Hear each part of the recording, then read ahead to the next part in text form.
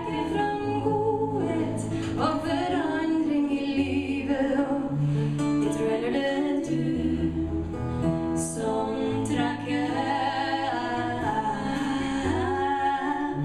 Jeg tror det er du som legger til rette.